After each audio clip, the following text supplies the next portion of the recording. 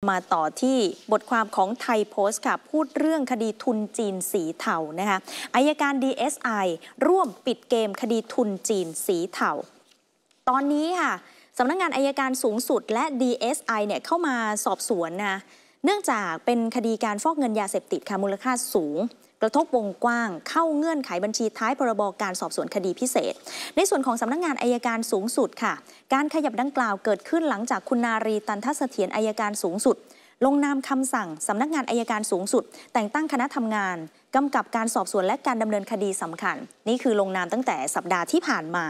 หลังจากผู้บัญชาการตำรวจนครบาลมีหนังสือรายงานข้อมูล ผู้ต้องหากระทำผิด ฐานมีส่วนร่วมในองค์กรอาชญากรรมข้ามชาติ ตามพรบป้องกันและปราบปรามการมีส่วนร่วมในองค์กรอาชญากรรมข้ามชาติ ปี 2556 ถึงอายการสูงสุดนะที่ได้มีการดำเนินคดีกับนายตู้ห่าวค่ะ ในสำนวนคดีอาญาในความผิดฐานร่วมกันจำหน่ายยาเสพติดให้โทษ อันเป็นการมีไว้จำหน่ายเพื่อเป็นการค้า อันเป็นการกระทบต่อความมั่นคงของรัฐ หรือความปลอดภัยของประชาชนทั่วไป โดยกลุ่มผู้ต้องหาค่ะเป็นผู้มีอิทธิพล อยู่ในความสนใจของประชาชน และมีการตรวจยึดทรัพย์สินของกลุ่มผู้ต้องหาได้จำนวนมากทำให้ทางอายการสูงสุด มีคำสั่งแต่งตั้งพนักงงานอายการ เจ้าพนักงงานตำรวจ เป็นคณะและมีอำนาจหน้าที่ดำเนินการเรื่องดังกล่าว โดยคณะทำงานดังกล่าวนะคะประกอบด้วยอายการสูงสุดค่ะเป็นที่ปรึกษาคณะทำงาน ผู้บัญชาการตำรวจแห่งชาติ เป็นที่ปรึกษาคณะทำงาน โดยมีคุณสมเกียรติคุณวัฒนานนท์รองอายการสูงสุด เป็นหัวหน้าคณะทำงาน ส่วนคณะทำงานคนอื่นๆ ก็มีนะคะเช่น รองอายการสูงสุด อธิบดีอายการสำนักงานคดีอายการสูงสุด ผู้บัญชาการตำรวจนครบาลค่ะ ทั้งนี้คำสั่งก็มีการระบุนะคะว่าให้คณะทำงานชุดดังกล่าว มีอำนาจหน้าที่กำกับ และติดตามการสอบสวน รวบรวมพยานหลักฐานของพนักงานสอบสวน เร่งรัดการสอบสวนและการส่งสำนวนการสอบสวนให้ทันภายในกรอบเวลาที่กำหนดค่ะเบื้องต้นคุณโกศลวัฒน์อินทุจันยงรองโฆษกสำนักงงานอายการสูงสุด ขยายความถึง กรณีอายการสูงสุดลงนามแต่งตั้งเนี่ยนะคะ บอกว่าหลังจากนี้ในส่วนของการสืบสวนต้องมีคำสั่งหนึ่งก็คือการตั้งพนักงานสอบสวน อาจจะเป็นการร่วมมือกันระหว่างพนักงานสอบสวน กับพนักงานอายการ แต่ต้องรออายการสูงสุดมีหนังสือคำสั่งตั้งอีกหนึ่งเรื่องนะคะกาแฟสว Coffee Plus 28 กาแฟที่ดาวใจชอบมาก หอมกลิ่นโสมกรุ่นกลิ่นกาแฟ กลมกล่อมอร่อยแท้ ต้องกาแฟสว สนใจโทรเลยค่ะ 02 105 4179 ทั้งหมดนี้แสดงให้เห็นว่าอะไร แสดงให้เห็นว่า คดีสอบสวนค่ะทุนจีนสีเทากำลังดำเนินไปอย่างเข้มข้นนะเพราะว่าในองค์กรกระบวนการยุติธรรมนะคะหลายหน่วยงานเลยตอนนี้เข้ามามีส่วนร่วมกันละขณะที่ในส่วนของความคืบหน้าคดียึดอายัดทรัพย์ นายสมศักดิ์เทพสุทินค่ะรัฐมนตรีกระทรวงยุติธรรมกำกับดูแลสำนักงงานคณะกรรมการป้องกันและปราบปรามยาเสพติดและ DSI เนี่ยก็ให้ข้อมูล ตัวเลขนะในช่วงสัปดาห์ที่ผ่านมาค่ะ DSI ยึดอายัดได้ 3,020 ล้านบาท ปปสยึดอายัดได้ 2,192 ล้านบาท มีทรัพย์สินบางส่วนที่ซ้ำกับ DSI ขณะนี้ยอดรวมอยู่ที่ประมาณ 4,401 ล้านบาท และปปสกำลังออกหมายยึดอายัดเพิ่มอีก 1,123 ล้านบาท และเมื่อหน่วยงานในกระบวนการยุติธรรมค่ะ เข้ามามีส่วนร่วมในการสืบสวน คดีดังกล่าวแน่นอนว่าเป็นเรื่องดีนะ เพราะอย่างน้อยก็ทำให้เกิดการตรวจสอบทวงดุลการทำงานกัน จะได้ไม่เกิดข้อคอรหานะคะ ว่าในการทำการสอบสวนเนี่ยย่อนยานไหมทำสำนวนอ่อนไหมจนมีผลต่อรูปคดีแต่สิ่งสำคัญนะในบทความบอกไว้บอกว่า ในการสืบสวนสอบสวนรวมถึงการเดินหน้าอายัดยึดทรัพย์เครือข่ายดังกล่าว แต่ละฝ่ายต้องทำงานกันแบบบูรณาการก็คือต้องร่วมกันไม่ใช่ต่างคนต่างทำนะ มีการแย่งซีน หากเป็นไปได้ก็ควรมีการแลกเปลี่ยนข้อมูลกันเท่าที่ทำได้นะคะ เพื่อทำให้กระบวนการสืบสวนสอบสวนจากทุกหน่วยงานมีความรัดกุม เพราะว่าตอนนี้ก็ต้องยอมรับค่ะว่ายังมีหลายฝ่ายอย่างเช่นประชาชนทั่วไปที่ติดตามข่าวนี้ก็มีคำถามเหมือนกัน แล้วว่าคุณชูวิทย์เองเอ๊ะทำไมยังไม่มีคดีฟอกเงิน ยังไม่ตั้งข้อหานี้เนี่ยนะคะเสียงสะท้อนที่สำคัญค่ะ คุณชูวิทย์กมลวิสิทธิ์นะตับหัวใจหลักของการมีสุขภาพดี ฟื้นฟูสุขภาพตับ ด้วยสารสกัดจากขมิ้นชัน และสารสกัดจากตรีพลา สนใจโทร 02 105 4179 e s c e r m i n Complex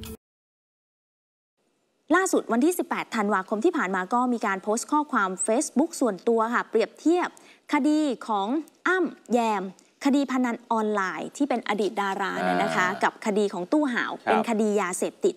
โดยระบุตอนหนึ่งค่ะนี่โพสต์ของคุณชูวิทย์นะคะ บอกว่าวันก่อนพลตำรวจโทจิรภพภูริเดชนำกำลังบุกจับกลุ่มอ้ำและแยมผัวเมีย ได้เงินสดทรัพย์สินมากมาย พร้อมตั้งข้อหาสมคบฟอกเงินอย่างรวดเร็วทันที เพราะคดีจัดให้เล่นการพนันวงเงินเกิน 5 ล้าน เป็นมูลฐานการฟอกเงิน โดยไม่ต้องทำท่ารีรีรอรอ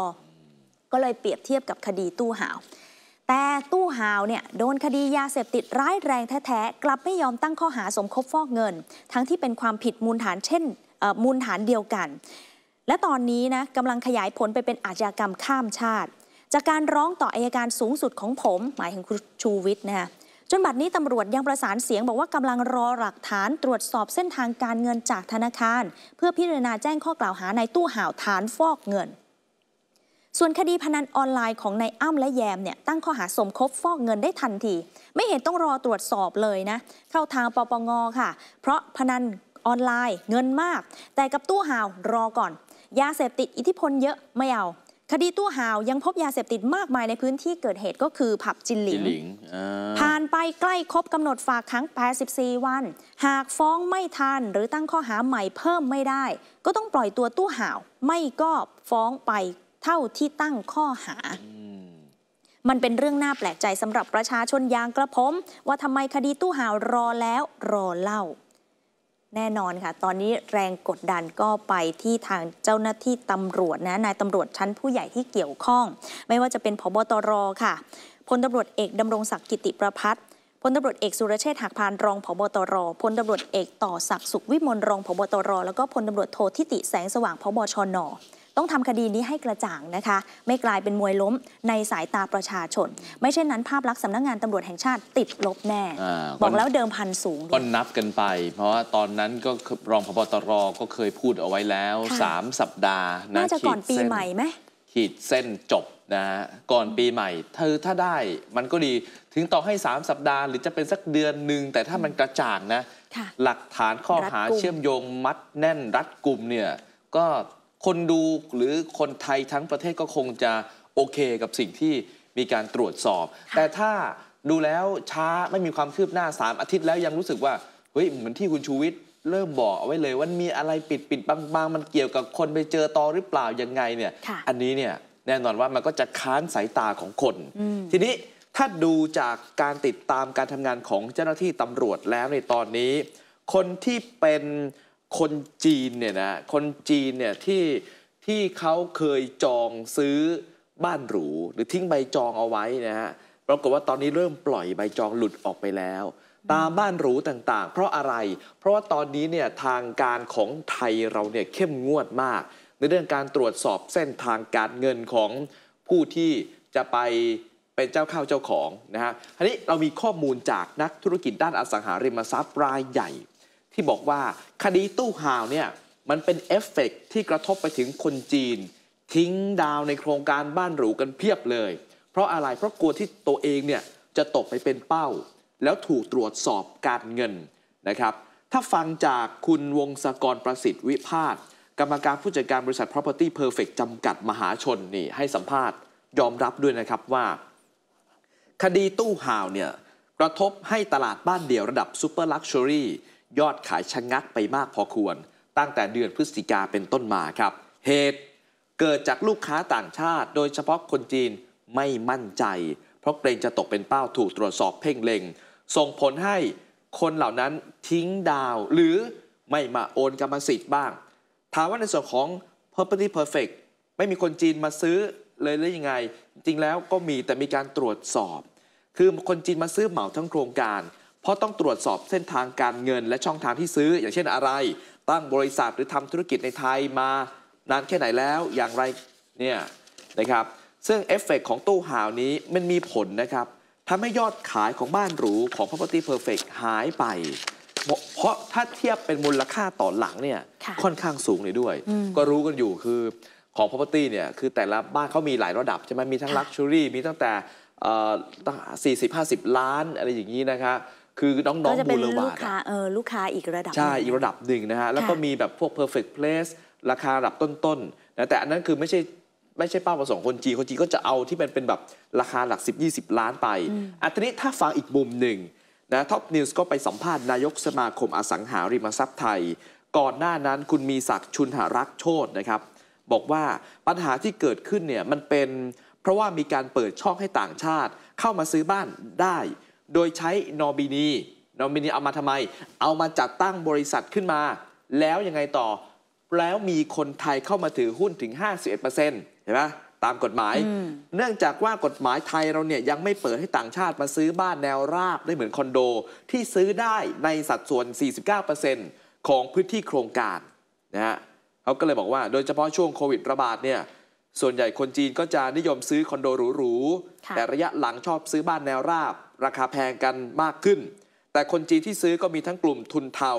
แล้วก็กลุ่มทุนขาว ที่เขาทำธุรกิจถูกต้องตามกฎหมาย แต่พอเกิดตู้ห่าวปุ๊บโอ้โหเอฟเฟกต์เกิดขึ้นเลยค่ะทั้งทุนเทาทุนขาวก็เอาละวะเงียบๆไปก่อนแล้วกันเดี๋ยว ถ้าเขาขอดูเอกสงค์เอกสารเส้นทางการเงินมันยุบยิกหยุมหยิม แล้วมาอนุมัติยาก ตรวจสอบเข้มงวดมากขึ้นใช่นะคะ หลายคนก็ตัดสินใจก็ชะลอไปก่อนครับใช่ไหมคะที่จะเข้ามาในบ้านเราอะก็เป็นเรื่องที่ดีนี่คือเกี่ยวเกี่ยวเนื่องนะจากคดีของตู้ห่าวก็ต้องรอติดตามนะคะ